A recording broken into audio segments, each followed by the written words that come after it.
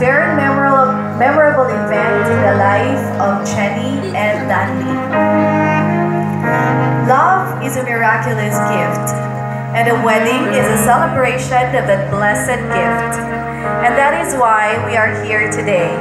We are gathered together to be overjoyed for and with Danley and Jenny, who are so wonderfully suited to one another, that it is a pure delight for the rest of us to see how happy two people can be. They are the promise of possibility, the expectation of joyful surprise.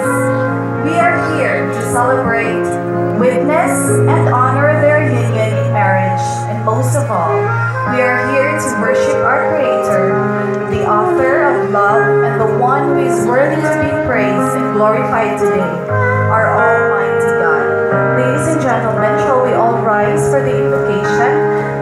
offered to God by Pastor Binon?